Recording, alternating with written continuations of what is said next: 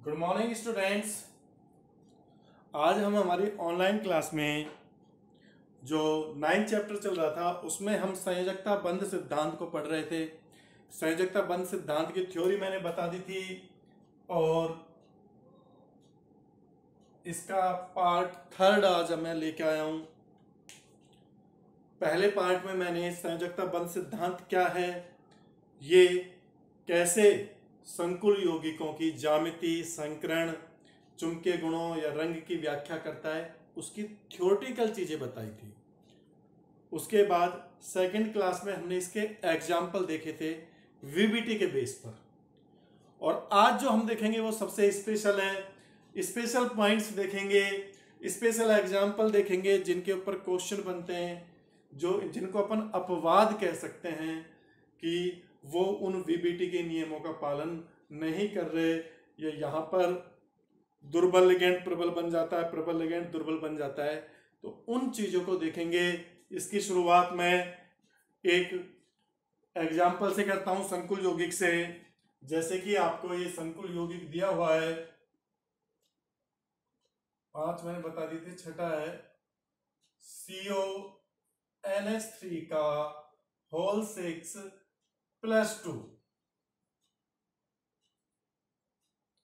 ये आपका यौगिक दिया हुआ है, संकुल यौगिक। इसकी हमें जामिति संकरण, चुंबकीय गुण, सबकी व्याख्या करनी है, किसके आधार पर? वीबीटी के आधार पर। सबसे पहले तो नाम इसका बताओ आप। हैग्जा एमीन, धनायन, संकुल है जो धनावेशित है। तो कोबाल्ट आएगा सामान्य नाम। कोबाल्ट। और इसकी जो ऑक्सीडेशन नंबर है कोबाल्ट का, केंद्रीय धातु परमाणु का, यहाँ पर तो देखो ये उदासीन है। तो x प्लस ज़ीरो बराबर प्लस टू तो सेकेंड ही आ जाएगा।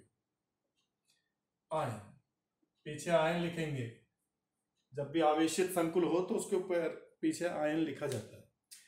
अब इसकी देखो आपसे मैं कहता हूँ, क्योंकि आपने चार एग्ज़ाम्पल कर लिए पिछली क्लास में तो इसका बताओ भाई। तो आप इजीली बताओगे इसका कि सर सबसे पहले केंद्रीय धातु परमाणु का इलेक्ट्रॉनिक विन्यास लिखेंगे, क्योंकि ऑक्सीजन अवस्था तो हमें पता है। कोबाल्ट कौन से नंबर पर आता है? सत्ताईसवें नंबर पे आता है। कोबाल्ट का इलेक्ट्रॉनिक विन्यास आप लिख दोगे। Argon three D seven four S two. ठीक है भाई, कोई गलती, कोई नहीं। फिर आप क्या करोगे, इसमें से दो इलेक्ट्रॉन निकालोगे तो कोबाल्ट प्लस टू का इलेक्ट्रॉनिक विन्यास आ जाएगा, argon three D seven four S zero. ये आ जाएगा। फोर पी भी खाली पड़ा है। अब आप क्या करोगे, इसको दिखाओगे। और यहाँ पर three D seven three D एक, दो, तीन, और ये चार। सात इलेक्ट्रॉन कैसे भरोगे? पहले तो एक एक भर लो, पाँच, फिर दो, ये। सात इलेक्ट्रॉन हो गए। फोर एस आपका साहब खाली है, और फोर पी भी खाली है।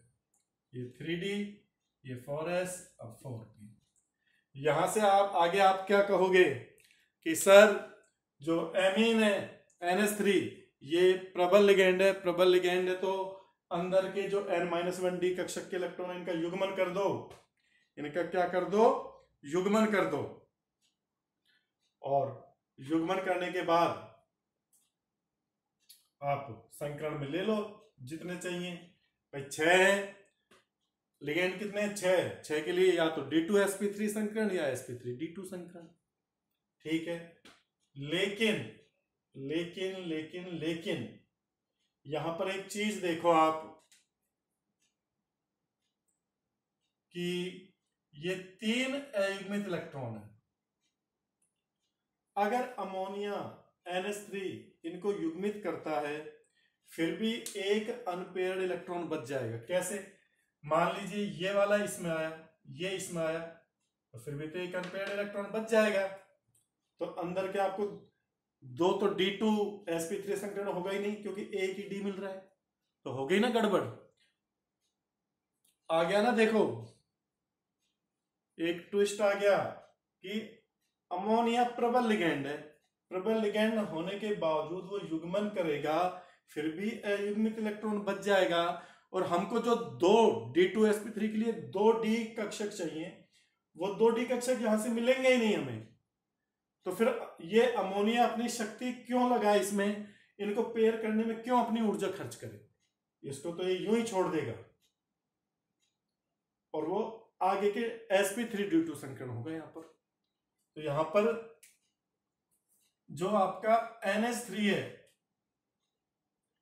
वो दुर्बल लिगेंड की तरह बिहेव करेगा। एनएस थ्री दुर्बल लिगेंड। एनएस थ्री वैसे प्रबल है, लेकिन इस कंडीशन में क्या हो गया? है दुर्बल। मैं आपको चार पॉइंट बताऊँगा, उन चार पॉइंटों से आपके सारे जो माइंड में चल रहा है, वो सब कंफ्यूजन दूर हो जाएगा। एक चार पॉइंट में लिखाऊँगा। एक बार इसे एग्ज़ाम्पल को करा देता हूँ। मैं यहाँ पर ये चीज़ बताना चाह रहा हूँ, बच्चों, समझो उसको। कि NH3 प्रबल लिगेंड है।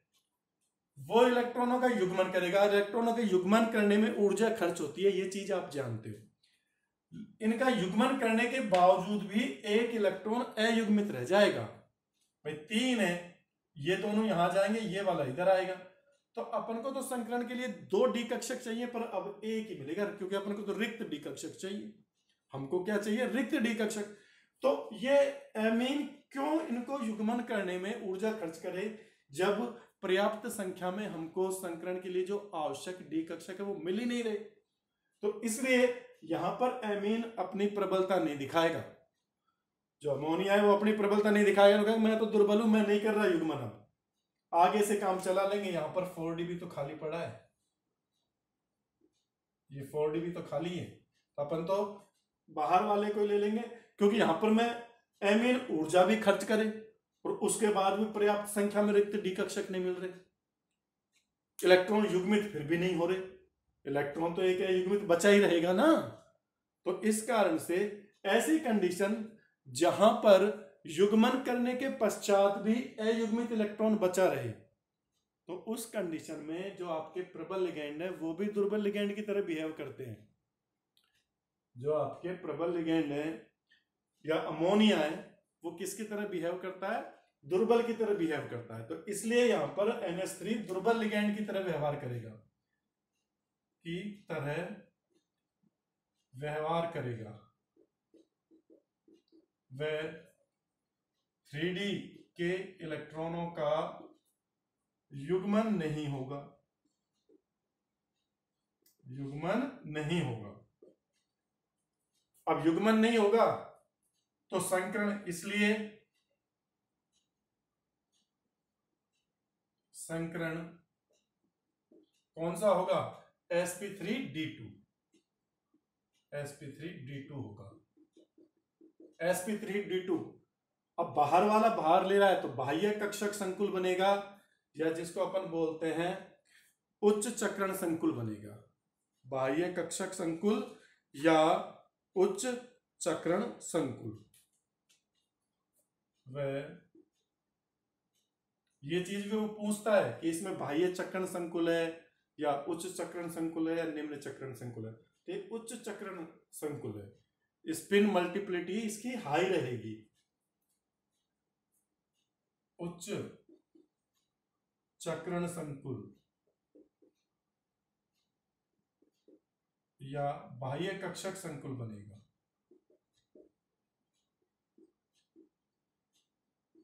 बनेगा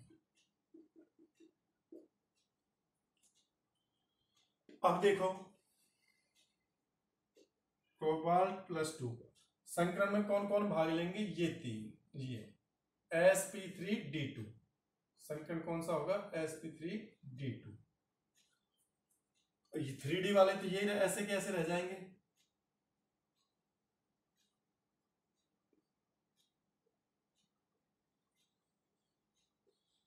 ये तो यू की यू रहेंगे?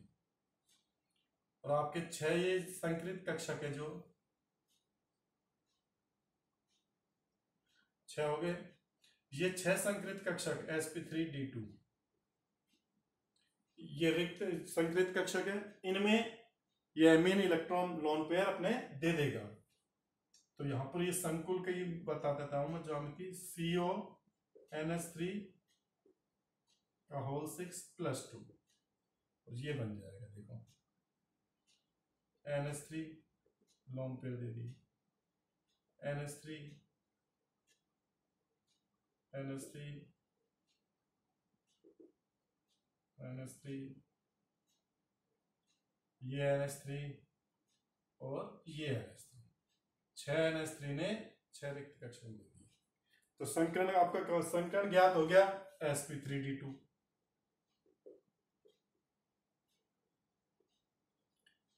ये सब क्वेश्चन पूछे जाते हैं एग्ज़ाम्पल देखे कि उच्च चक्रण संकुल होगा, बाह्य कक्षक या बाह्य कक्षक संकुल संकरण कौन सा है? ज्यामिति पता लग गई। अष्टफल की होगी। ये तो फिक्स है, इसमें तो कोई कंफ्यूजन ही नहीं है। जब छह लिगेंड है तो अष्टफल की ज्यामिति होती है।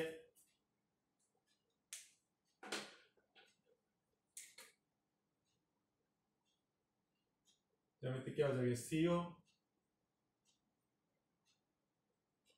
NS3 NS3 और ये NS3 ये आपकी ज्यामिति हो गई। अष्टफल की ज्यामिति हो गई। ठीक है भाई? इसके बाद क्या होगा? चुंबकीय प्रकृति, चुंबकीय गुण।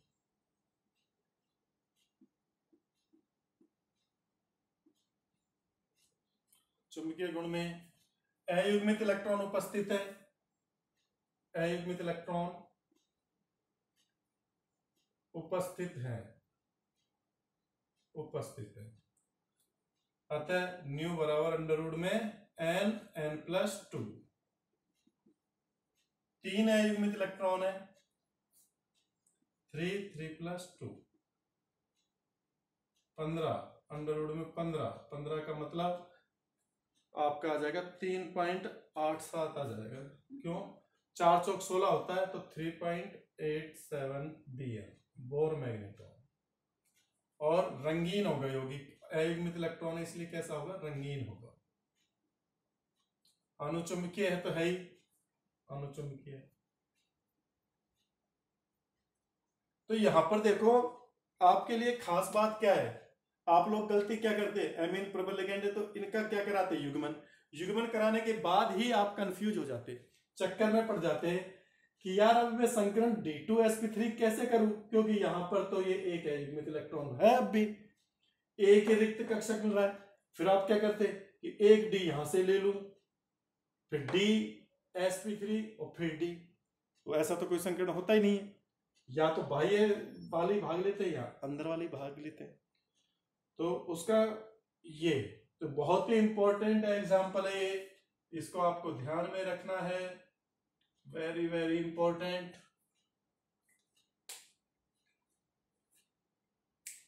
नोट करो इसको भाई।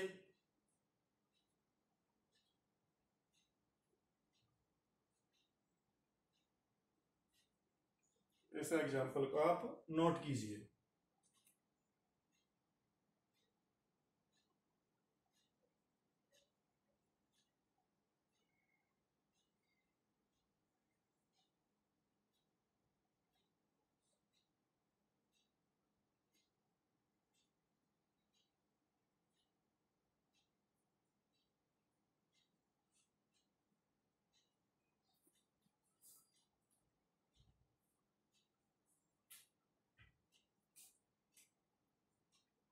हाँ भाई स्क्रीनशॉट ले लिया या नोट कर लिया इसको।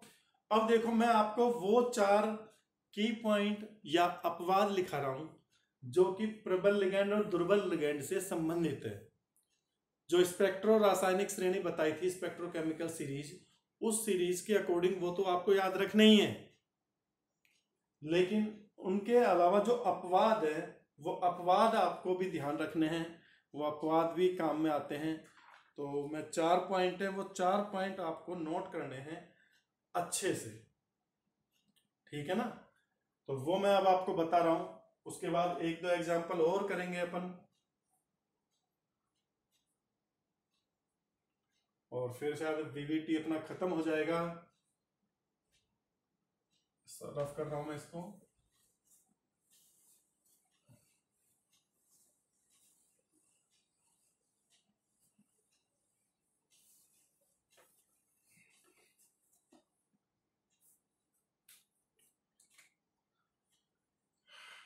की पॉइंट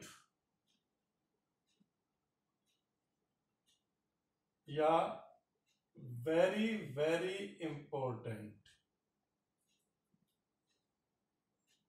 ये पॉइंट आपको ध्यान में रखने हैं वीबीटी के लिए। पहली चीज़, कि मैंने आपको बताया था कि जिन भी लिगेंड में ऑक्सीजन दाता परमाणु की तरह बिहेव कर रहा है, वो दुर्बल लिगेंड होते हैं। जैसे अपन ने ओ एच माइनस को लिया था, या अपन ने ओ टू को ओ माइनस टू को लिया था, या अपन ने ऑक्सीलेटो को लिया था, ये सब अपन ने दुर्बल लिगेंड में डाले थे। लेकिन अगर आपका केंद्रीय धातु परमाणु कोबाल्ट प्लस थ्री या कॉपर प्लस टू आयन है तो ये जो ऑक्सीजन जो लिगेंड जिन लिगेंडों में ऑक्सीजन दाता परमाणु की तरह बिहेव करता है, वो प्रबल लिगेंड की तरह बिहेव करेंगे। वो किसकी तरह बिहेव करेंगे? प्रबल लिगेंड की तरह बिहेव करेंगे। तो इसको नोट करो, सबसे पहला पॉइंट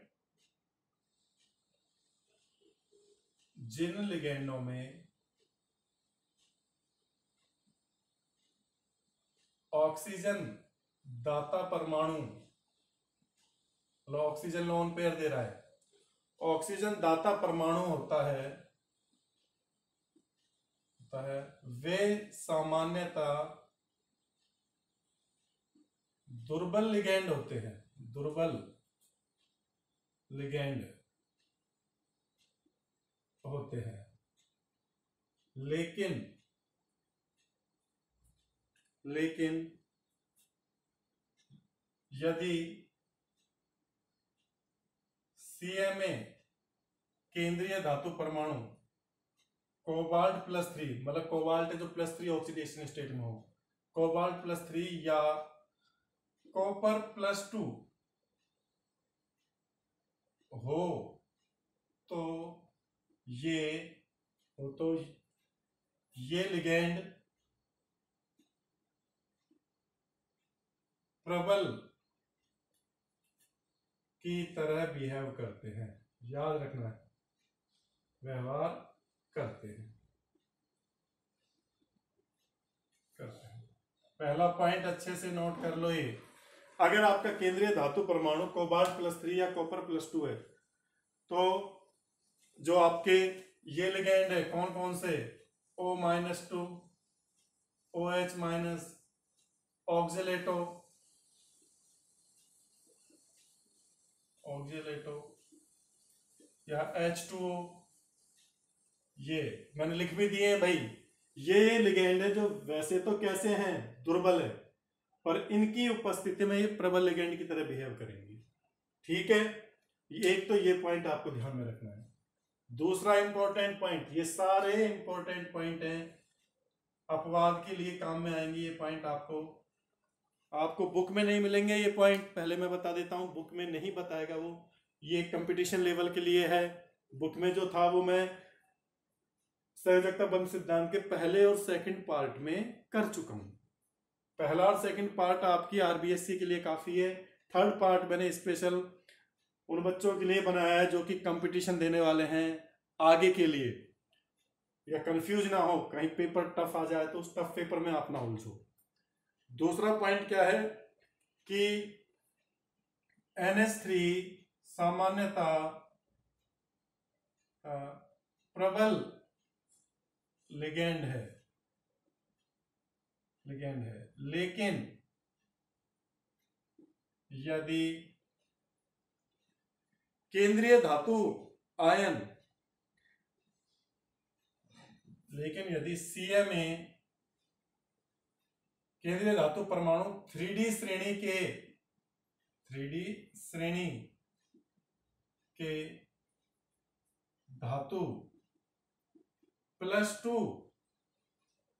ऑक्सीकरण अवस्था में है, ऑक्सीडेशन स्टेट में है। तो यह दुर्बल लिगेंड की तरह बिहेव करेगा। दुर्बल लिगेंड की तरह व्यवहार करेगा।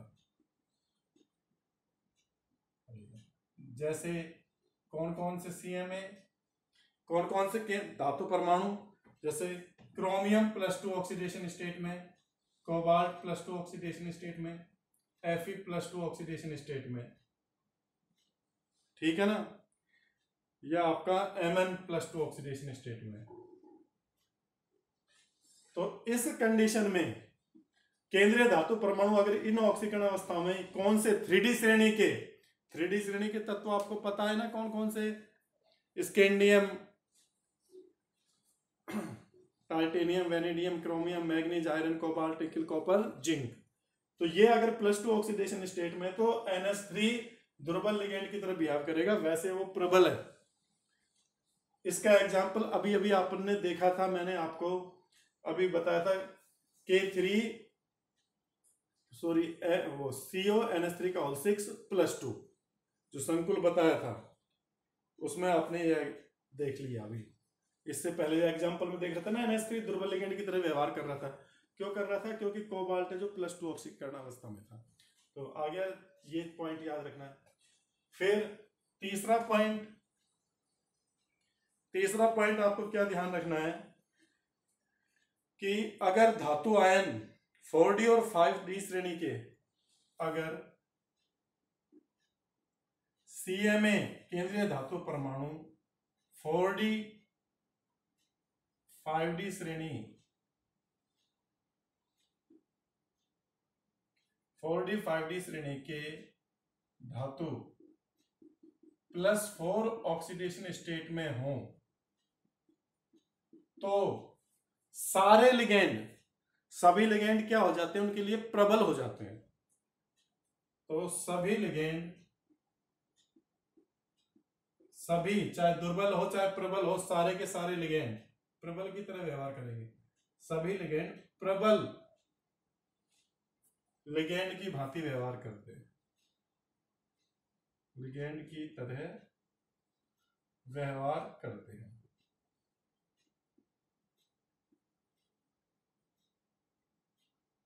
ठीक है। और लास्ट पॉइंट आपको क्या याद रखना है? कि अगर आपका एन माइनस वन का जो डी विन्यास है एन माइनस वन डी का विन्यास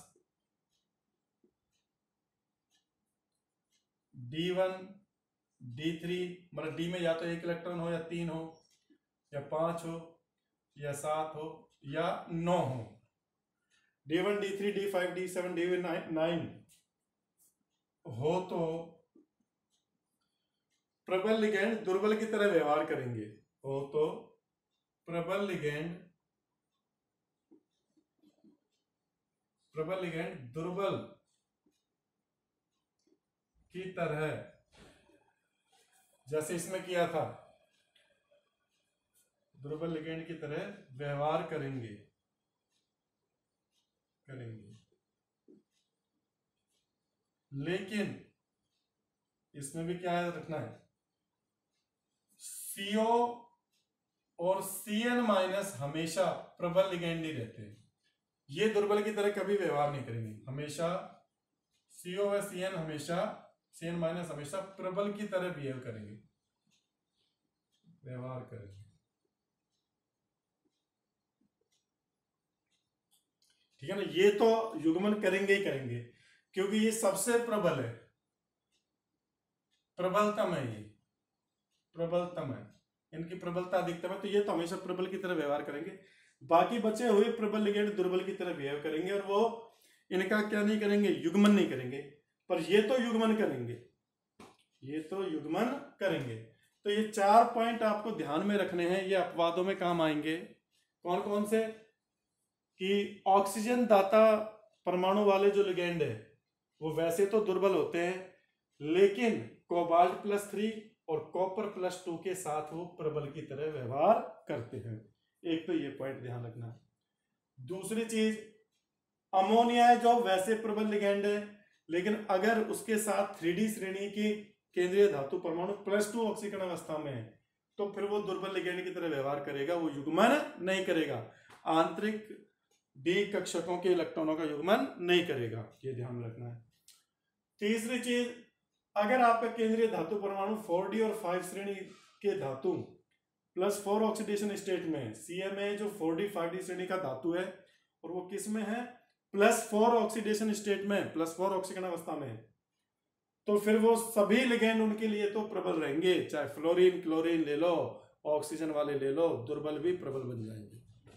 और लास्ट अगर आपका डी कक्षकों का विन्यास ये है odd number D one D three D five D seven तो प्रबल लिगेंड दुर्बल की तरह व्यवहार करेंगे, लेकिन कोबाल्ट और सॉरी कोबाल्ट नहीं है, ये कार्बोनिल लिगेंड है।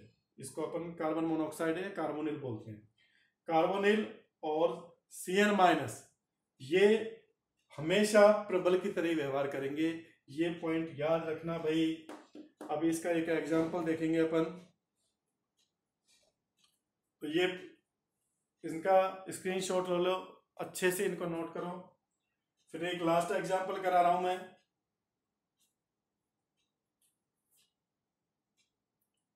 हाँ भाई, इसको रफ कर दू स्क्रीनशॉट ले लीजिए इसका, फिर इसको रफ कर रहा हूँ मैं।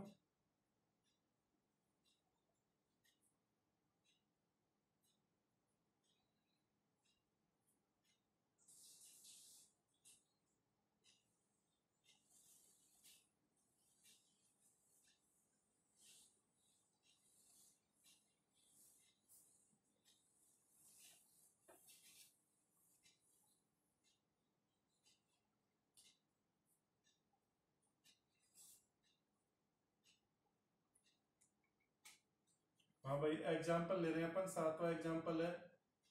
इन्हीं अपवादों से ले रहे एफ़ ई सी एन का होल सिक्स और इसके ऊपर प्लस थ्री चार्ज ये। पहले तो इसका नाम लिखो। हेक्सासाइनो हेक्सासाइनो धनायन है इसलिए सिंपल नेम आएगा। सिंपल नेम इसका क्या आता है? आयरन। आयरन लिख सकते हैं। आयरन। और ऑक्सीडेट ऑक्सीडेशन नंबर क्या होगा? तीन ही होगा। क्योंकि छह साइनो है एक्स माइनस सिक्स बराबर प्लस थ्री ये माइनस का छह इधर जाएगा प्लस का छह। सॉरी सॉरी सॉरी माइनस का तीन है। फिर तो ये भी चेंज हो जाएगा। ठीक है। ये माइनस का तीन है, बेटा। माइनस तीन तो ये x बराबर प्लस थ्री हो जाएगा। Hexacyano ferrate third ion. ये अपन ने ऑक्सीकरण अंक भी ज्ञात कर दिया, प्लस थ्री है। वही काम करो वीबीटी के अनुसार। एफ़ कौन से नंबर पे आता है? छब्बीसवें नंबर पे। ऑक्सीडेशन इसका लिखोगे इलेक्ट्रॉनिक विन्यास तो argon three D six, four S two. Four P खाली है। अब देखो यहाँ पर, अपन को एफ़ प्लस थ्री का चाहिए। प्लस थ्री का मतलब तीन इलेक्ट्रॉन निकाल दो। जितना ऑक्सीजन अंक होता है, उसके बराबर इलेक्ट्रॉन निकालते हैं। दो यहाँ से निकलेगा, एक यहाँ से। तो एफ़ प्लस थ्री का विन्यास क्या हो जाएगा? Argon three D five four S zero four P zero four D भी ज़ीरो हाँ भाई, इसको केंद्रीय विन्यास थ्री में पाँच इलेक्ट्रॉन है। ये पाँच इलेक्ट्रॉन आ गए फोर एस आपका खाली है, फोर पी भी खाली है, और ये फोर डी भी खाली है। ये आपका three D, four S, four P और फोर डी। अब यहाँ पर देखो, साइनो मैंने तुमसे कहा था कि अगर D one D three D five D seven D nine विन्यास हो तो प्रबल लिगेंड भी दुर्बल की तरह बिहेव करते हैं और इलेक्ट्रॉनों का युग्मन नहीं करेंगे। लेकिन यहाँ पर क्या है? साइनो है। ये प्रबल लिगेंड है और प्रबलतम है। कार्बोनिल और साइनो है जो दोनों, दो, केवल दो लिगेंड हमेशा प्रबल ही रहते हैं हर कंडीशन में। तो ये क्या करेंगे? इनका युग्मन करेंगे। क्या करेंगे? इनका युग्मन करेंगे। युग्मन करेंगे तो देखो, इसमें दो आ जाएँगे, इसमें दो और इसमें एक। पर दो अपन को मिल जाएँगे ना डी टू डी के दो मिल जाएँगे फिर भी खाली। तो यहाँ पर जो संकरण होगा वो कौन सा होगा? D two S P three क्योंकि छह है तो देखो सी एन माइनस प्रबल लिगेंड है।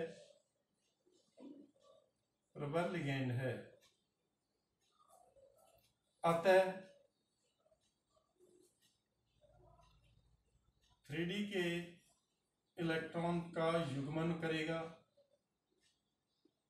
युग्मन करेगा वह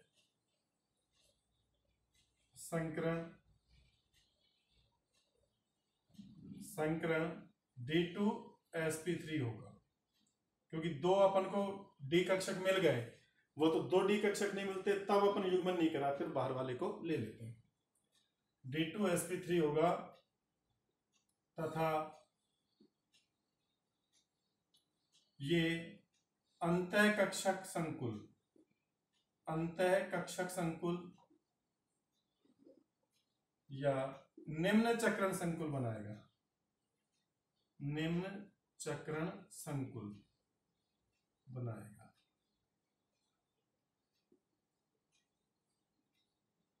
हाँ भाई, करा दो इसका युग्मन।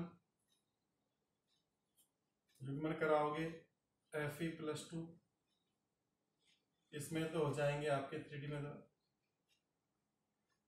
इसमें दो इसमें दो और इसमें एक। और ये दो खाली मिल गए अपन को।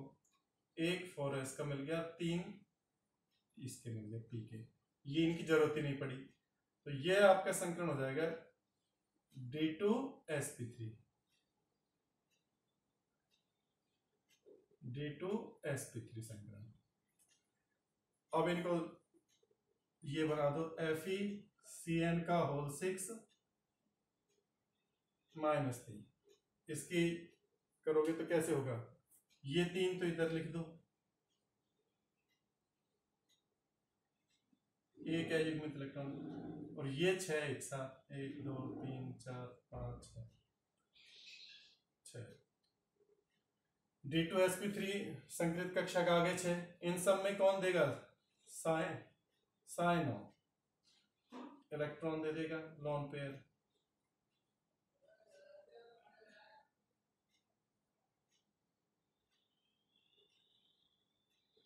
इन्होंने लॉन पेयर दे दी। तो ये आपका ये बन गया।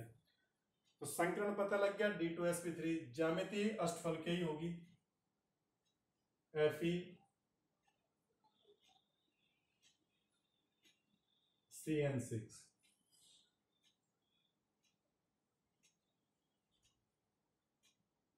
ये लो। ये आपकी जामिति हो गई अष्टफल की।